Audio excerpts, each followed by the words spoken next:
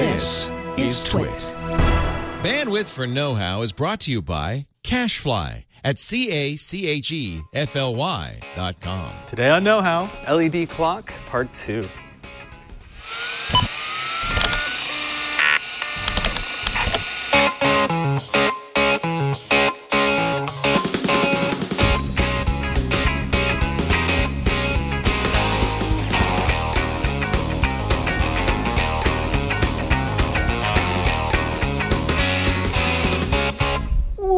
To Know How. It's a Twitch show where we build, bend, break, and upgrade. I am Father Robert Ballecer. And I'm Bryan Burnett. And for the next however many minutes it takes, we're going to take your database of knowledge and, and do eight table entries of that's, new stuff. That's right. We're going to upload the knowledge into your cloud of brain.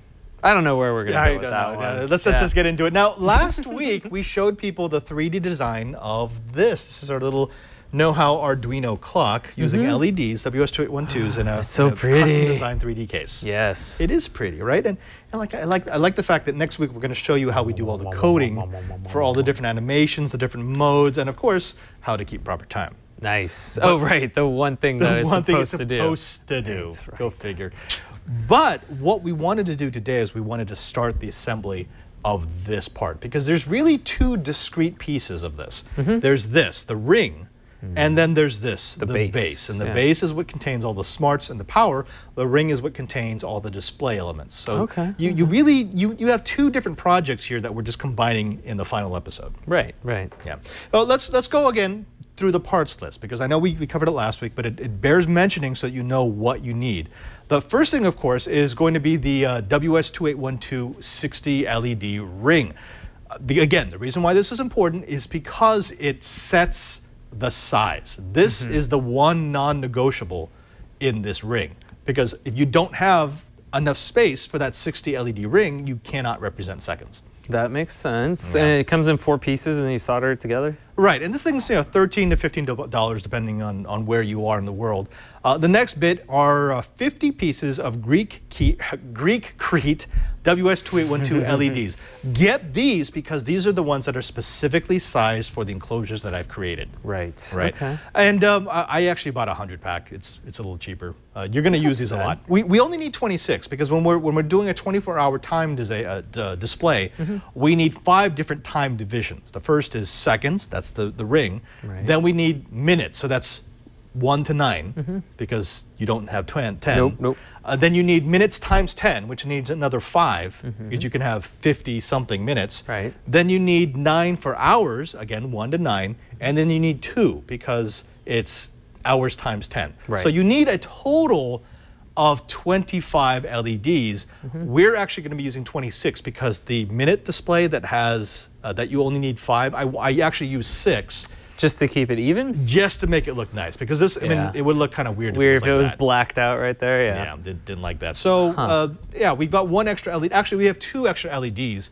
because on the 60 LED ring for yeah. the seconds, you never actually get to second 60, because that's a minute. That makes sense. I'm wondering, what if you did little circles instead of squares on here? Circles within circles. Uh, yes. Did you do that? Uh, I, I, I, did a design like that, and using those little uh, WS2812 rings that we had for the, the steampunk goggles. Yeah. It ended up there was a lot of wasted LEDs, yeah. and the other problem with doing that is they are never in the right denomination.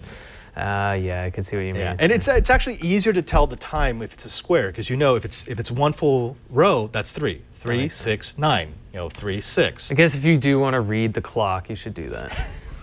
I know. If you want to make it actually useful for the thing that you're you say you're making it for, yeah, right. go with go with. I, when you first at a glance look at it, it seems like it's super complicated, but once you get the idea, it's it's not that bad. Right. Uh, you're also going to need some jumper wire. Like we showed this off last week. Super cheap. You can get a, a, a dual pack, 400 pieces of red and uh, and black. You'll see why we use this extensively. Hmm. It's the best way to make sure that uh, you know you don't short out your wiring. And again, I, I am using plastic.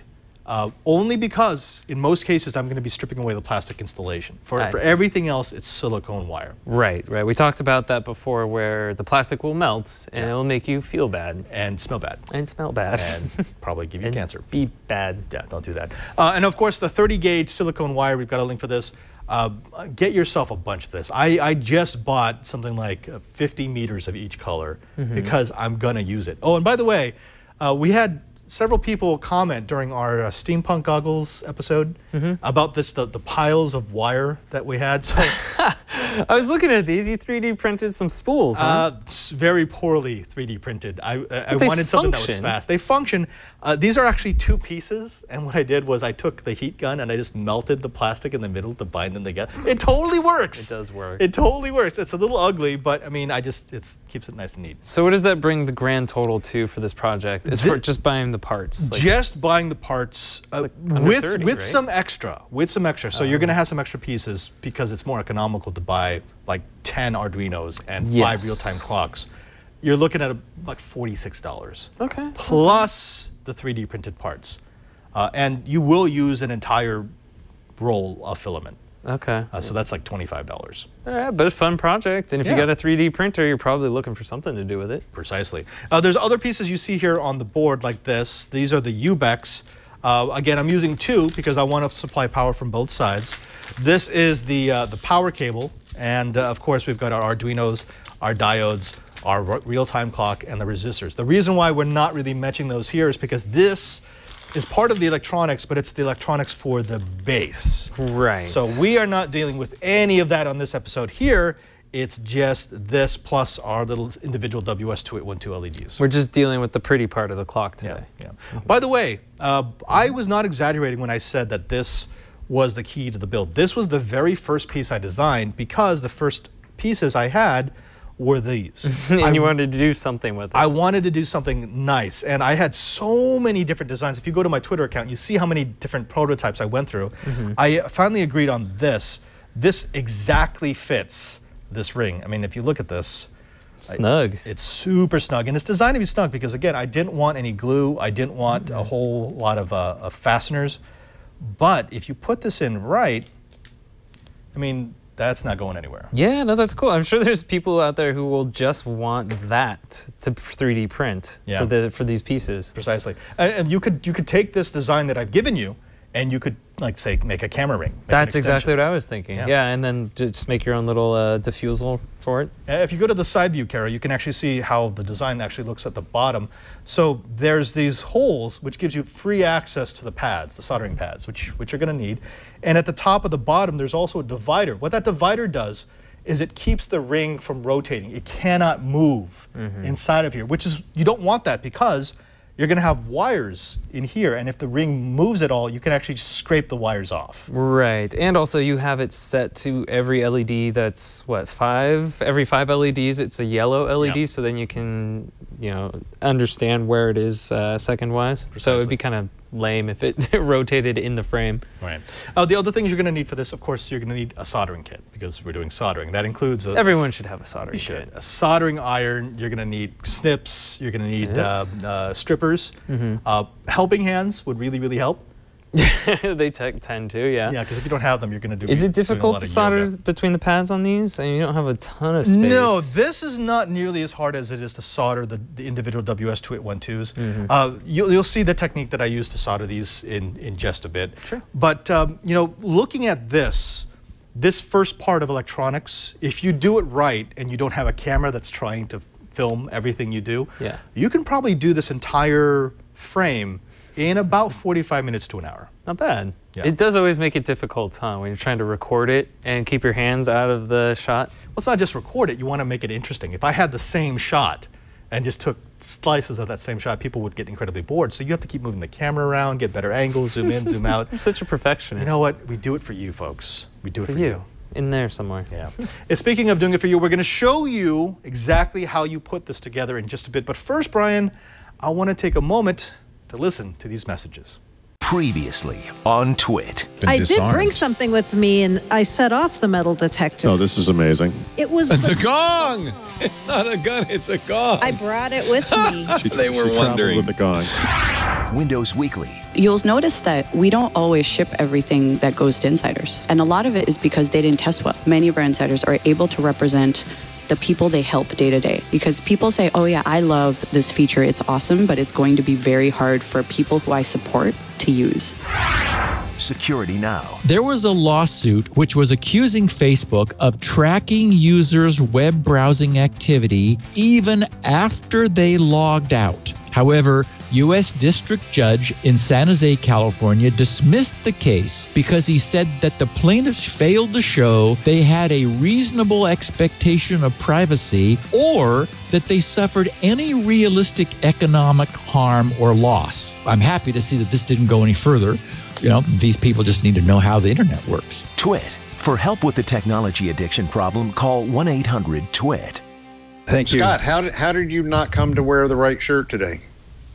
I didn't get the memo. And we're back. Hey, Brian, yeah, are you ready for a little bit of a smoke and solder? Yes, I want to observe this. And we've learned if you smell chicken, stop. Stop. Yeah, just don't just don't do that. I'm impressed that you want to, you want to solder here at this table. Usually we do it at the other one. Yeah, but uh, you know, I did most of the hard work in front of the camera. So without further Oh, yeah. ado, hey, Kara, press that magic button.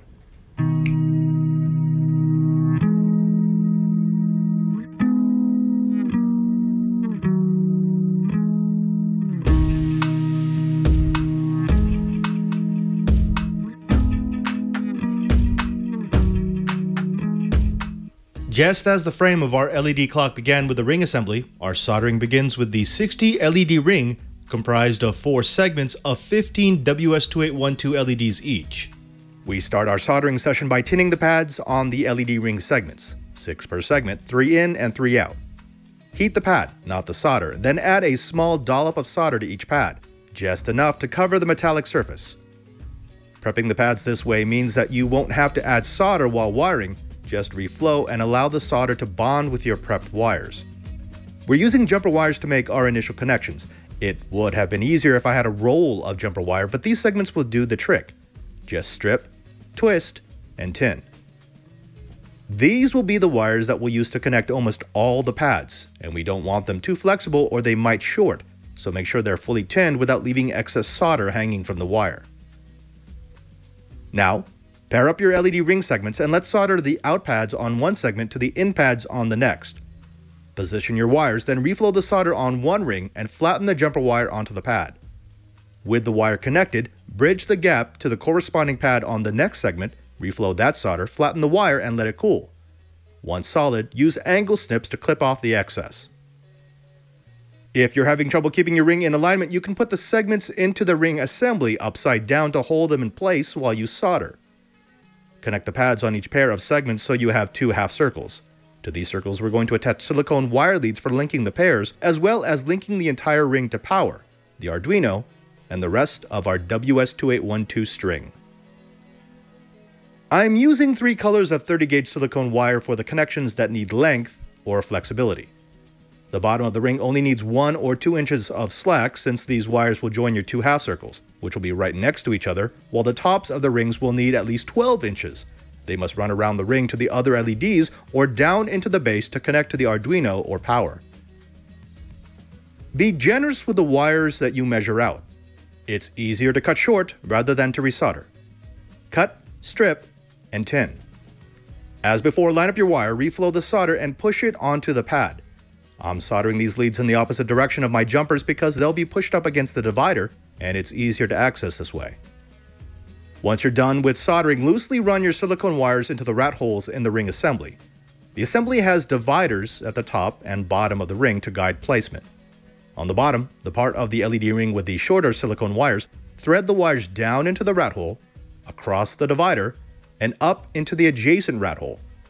Now solder to the pads on the other half circle. Once that job is done, snap the two half circles into the ring assembly. The fit should be tight, tight enough to hold the ring without adhesives.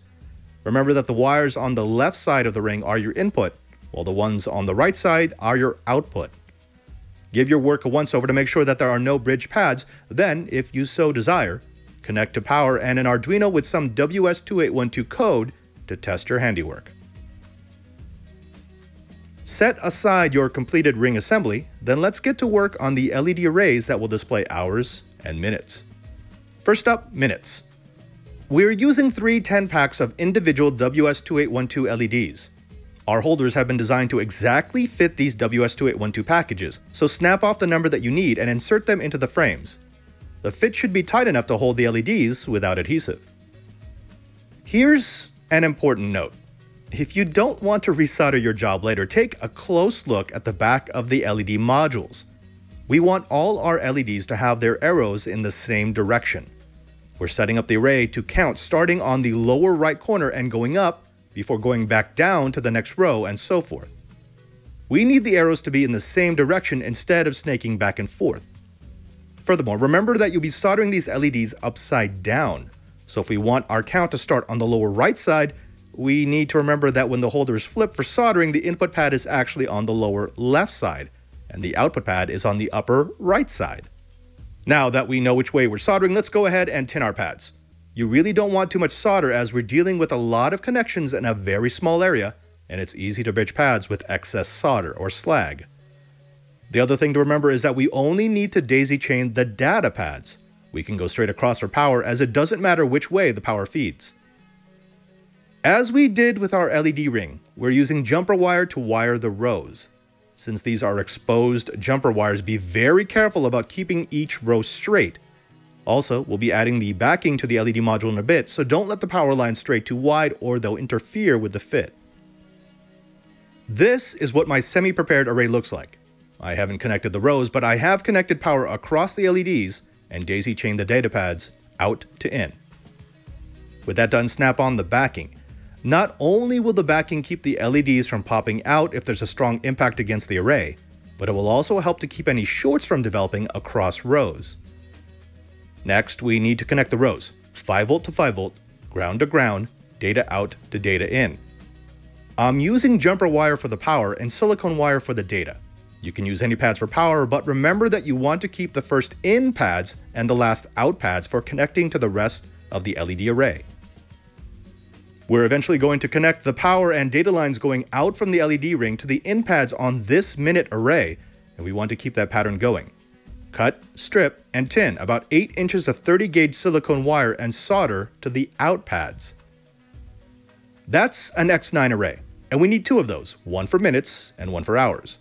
Thankfully, the process is exactly the same, just rinse and repeat for the LED array that will represent hours.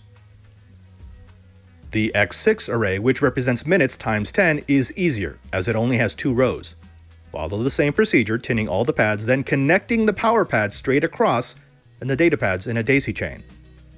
Then, as with the X9 array, use jumpers to connect power between rows and silicone to connect the data pads. As before, cut, strip, and tin about 8 inches of silicone wire, then solder one end to the out pads on the X6. The last array is the X2, which will represent hours times 10. It's the easiest of the arrays to complete because it's just two LEDs with no rows. Tin the pads, then connect power across and daisy chain the data pads. We don't need a line from the data out pad on the X2 since it's the end of the string of LEDs, but we do need power lines. Cut, strip, and tin about 12 inches of 30 gauge wire, then connect to the power out pads. These won't be going to another LED array. Instead, they're going back down into the base to connect to our power supply, giving us two power paths for our string of LEDs. That will ensure that any LED always has enough power, no matter its location in the string.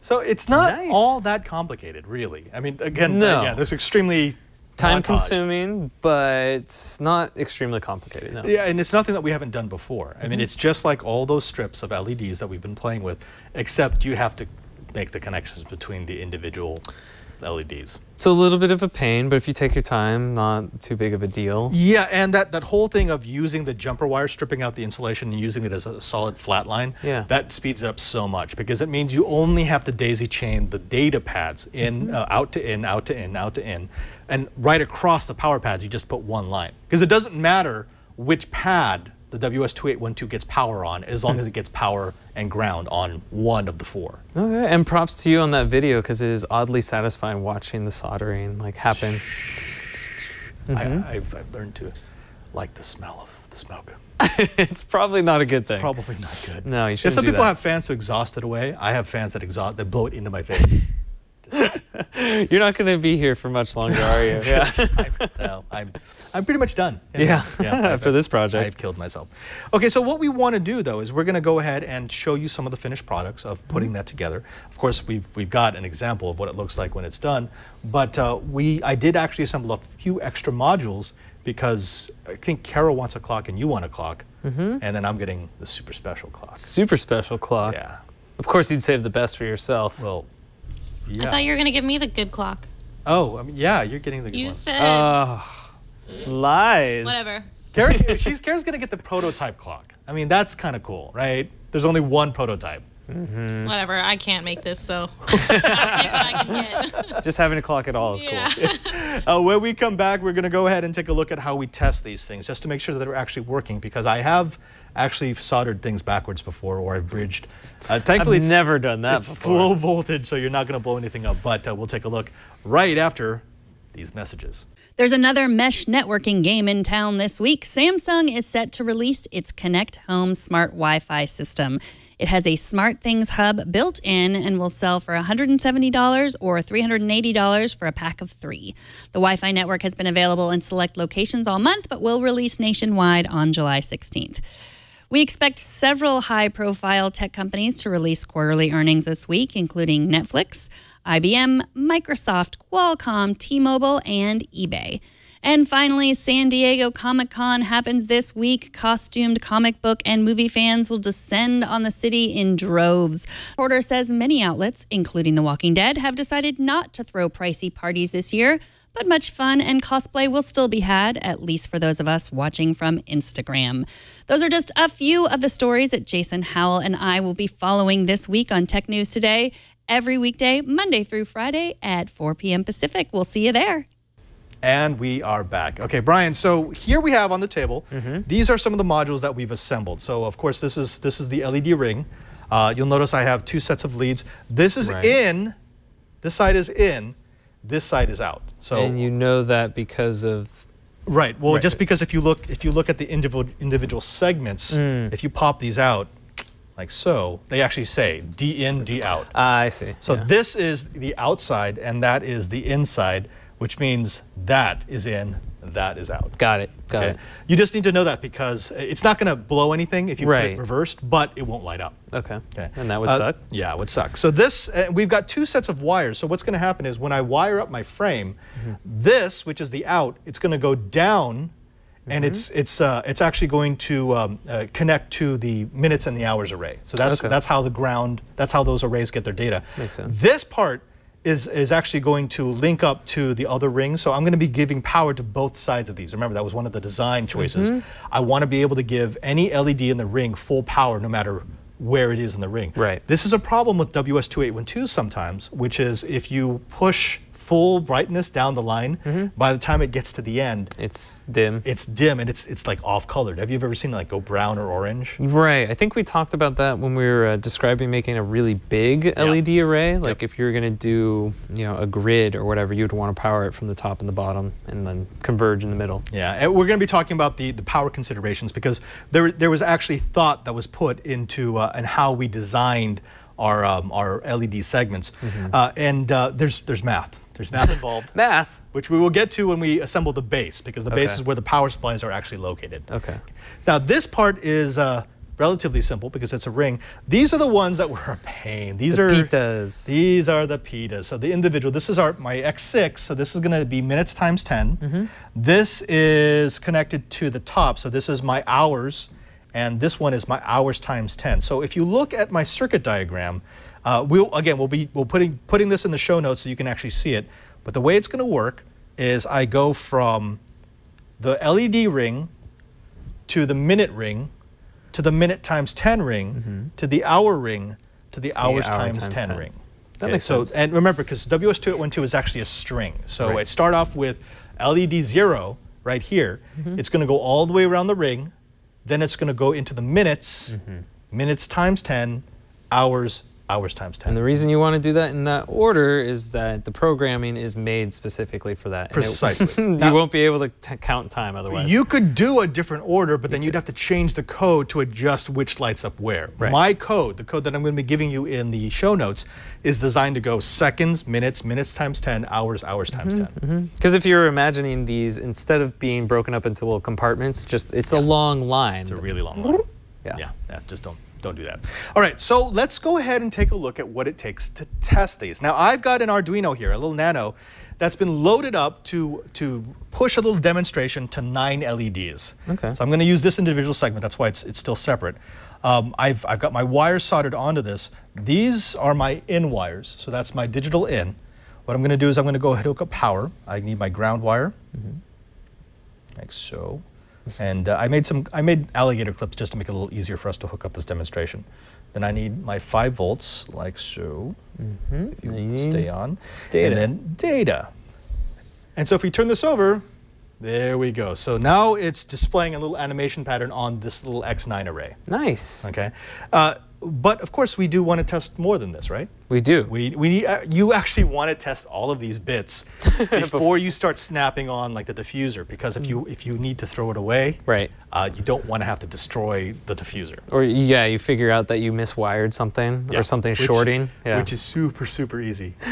uh, what I would suggest is if you have a magnifying glass, after you're done, go through and just make sure, because those pads are really close to each other. Right. There can't be any stray solder, not even a little teeny tiny blob that touches, that shorts out pads. Mm-hmm. Otherwise, what will happen is like some lights will light up and some lights won't. So you're saying audience members who've done the steampunk goggles should put down their little magnifying glasses, put the steampunk goggles on, and Well- look at the solder joints? What you should do is you should build the steampunk goggles so that you can have Just for that reason, loupe, yeah. Because that's the best. It's the most practical way. I like that. To have a magnifier. All right, but let's go ahead and so we know this X9 works. Let's go ahead and test something else. Let's test our 60 LED ring.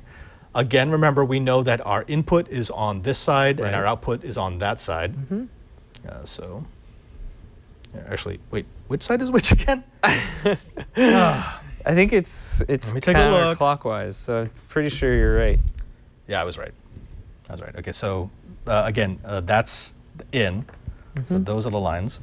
So we're going to Mm-hmm. Feed out. it power So if you're going with my little special alligator clips. There we go. That's po- that's ground. Here's positive, and let's give it some data. And, oh, as soon as I can get this to go.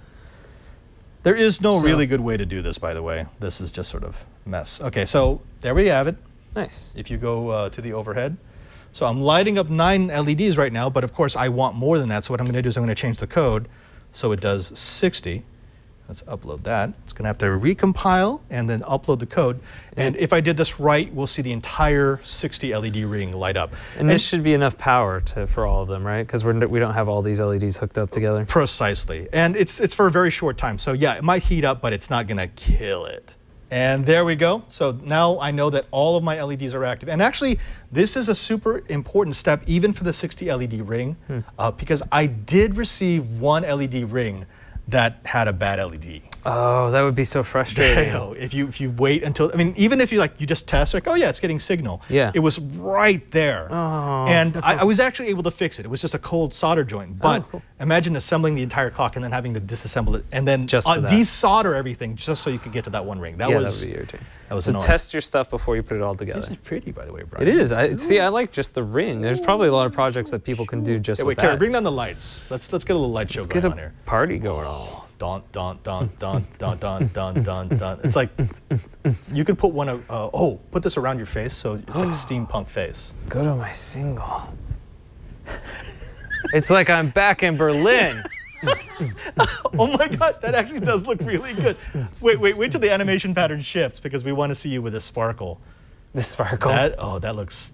I don't know about this. I don't know. We could probably do something cool with that though. Oh wait, wait, wait. Let me wait, wait. Green sparkle.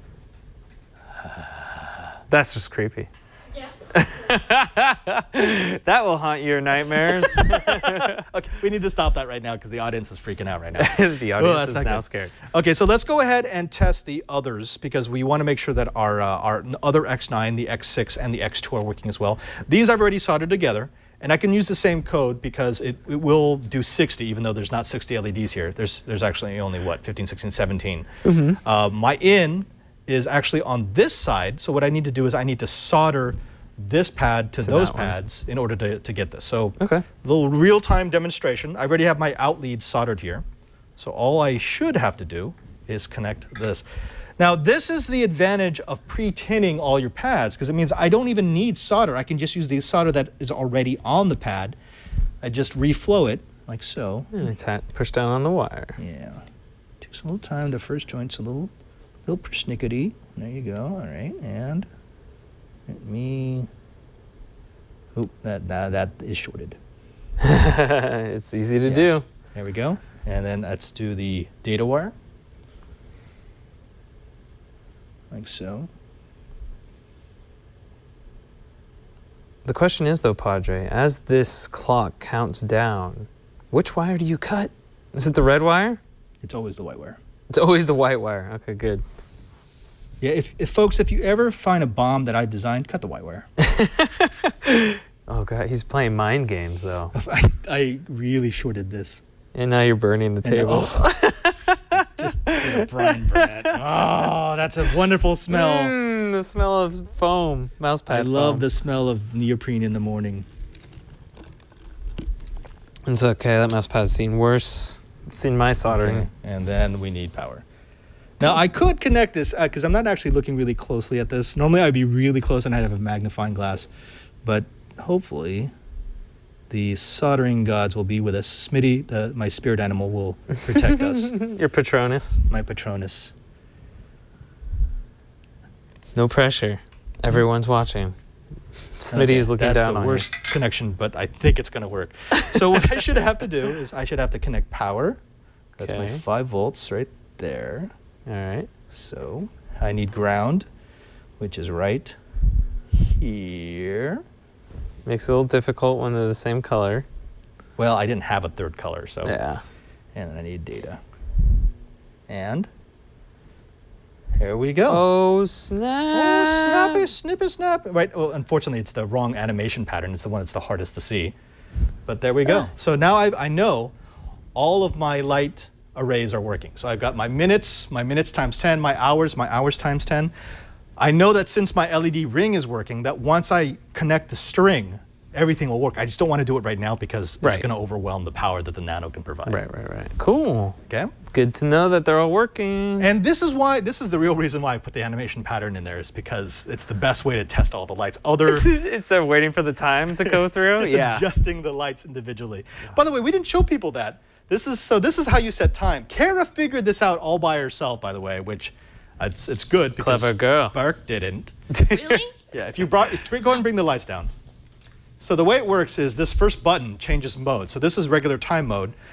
When it goes rainbow ring, it's now time set mode. Mm-hmm. And this first button allows you to change the hour. Nice. See? So what time is it? The Uh, 732. so it's 19. So it has to look like that. And then when you when you uh, change mode again, this is going to save time to the real time clock and change to the animation mode. Cool. Uh, hold on. Wait, not not your face. No, not again. Nightmare fuel. Hi, chat room. Okay, He's no, that's watching. Enough of that. That's done. We're done with that. But there we go. That's how we solder this thing together. Not bad. Not too bad. So all in all, what do you think? Like 45 minutes to solder all that together? If- Realistically, if you weren't recording it. Yeah, 45 minutes to an hour. I mean, if you're good, if, if uh, once you get into a rhythm, Mm-hmm. uh, I mean, I mean, like for example, soldering the uh, the little dollops. Yeah. That literally takes you about a minute for every one. If you just go bop, bop, bop, bop, bop, bop. And once the solder's down there, laying down the individual wires Mm-hmm. becomes a whole lot easier because you're not like trying to hold the iron, the, uh, the item, and the solder at the same time. Right. Uh, what I would suggest is to get yourself one of those little uh, non-conductive wire sticks. It's basically uh, like a poker that has a notch, so it will actually hold the wire. Makes it so much easier to poke the wire and then hold it where you want it to be. You're not burning your fingers, and it stays in the right place. Sounds less dangerous. It does. Uh, people might want to try that. Yeah, yeah. Uh, The other thing to remember about this is uh, before you apply power, this is the same for any project that you might want to do. Always recheck your uh, your solder, recheck your wiring because it gets very easy for you to accidentally flip stuff around. Like at one point, I had uh, connected all the wires, but in a ring with no power. Right. Uh, and then I was like, why isn't this working? I'm like, oh, yeah, that, I'll do it.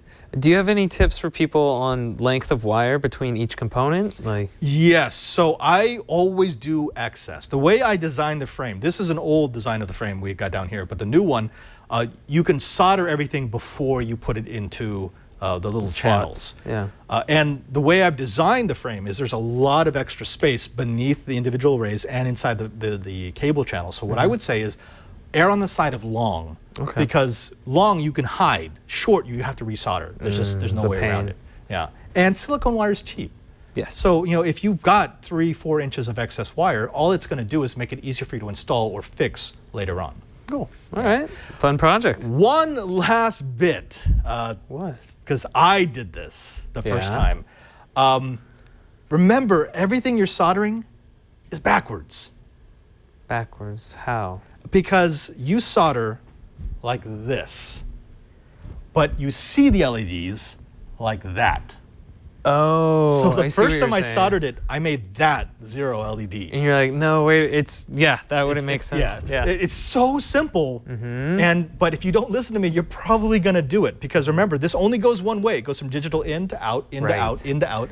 So you, when you're soldering, you're going right to left. No, so, when you're soldering, you're left to going right. left to right. Left to right. When it's displaying, it's going right to left. Right to left. Right. Uh, Yeah, that's Oof. that's actually kind of important. Um, A little bec- confusing. what I actually had to do is I had to go back in. I had to swap all of these little connections I made. I had to go the other way. Oh no. Uh, don't be me. don't be. don't- don't- Learn from Padre. Learn from Pod. Don't be Padre. Don't be Padre. Don't be Padre. Uh, but this is a cool project, and, and what I like about this is, especially this part, because we now have this template made, Mm-hmm. and we know exactly how big it needs to be to exactly hold those WS2812 parts.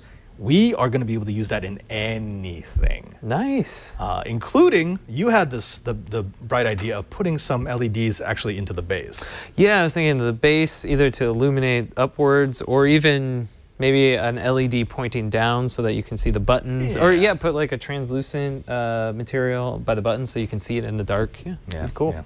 Now, next week, folks, we're going to take what we just created. We're just going to take the rig, not the base, and we're going to show you how to code it. Uh, because it's it's simple. It's you know it's not super complicated, but it's uh, it's something that you can play with. If you understand the code, you can actually modify it. Some people didn't like the 24-hour format. You can actually make this a different style of format. You can make it a 12-hour clock instead of a 24-hour clock just by changing the code. And we're going to be covering that all next week. Nice. Yeah. Nice. I look forward to it. Uh, we know that this was a lot of information, and we don't want you to copy everything down from uh, what you see. So we're going to give you step by step at our show notes. And Bryan, where do they find those? You can find those over at twit.tv slash KH. And yeah, like Padre said, you're going to want to download this episode because you'll probably want to pause it, take a close look at, at how we soldered things up, and then press play.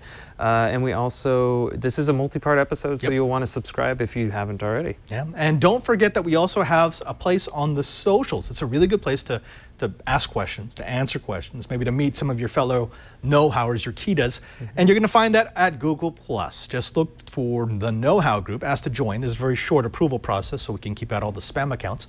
But once you're in, you get access to over 11,000 Kitas, your fellow know-howers, who are going to be able to answer questions, who are going to be maybe giving you ideas for future projects, and it's also the best place to post pictures and videos of the projects that you made so we can show them off on our show. We are very proud of our Kitas. We're proud of what you It's make. And we love to show off the things that you create. Somebody has already uh, outdone us a bit on the The steampunk, steampunk, goggles. They customized it for, I think, their daughter, and they were doing like a The, camp the thing first, the, that was the first robotics competition. Ah, that's pretty cool. Yeah, so go ahead and find that again. Go to Google Plus and just look for know-how. That's right, but uh, that's not the only place you can find us on the internet. We're also on Twitter, and that's where we post pictures when we're doing projects behind the scenes Burning or holes in our maker mats. yes, burning holes in maker mats or failing to wire things properly. That's where you'll find that stuff. And I am on Twitter at cranky underscore hippo. And you can find me at Twitter at PadreSJ. And we've actually got a third member of our crew tonight. That's right. Miss Kara Cole. Kara. Kara, Yes. tell the people, impress them with your responsibilities here at Twit. Oh, mostly I reap the rewards of this show. Like I get free clocks and other toys that Padre makes for me.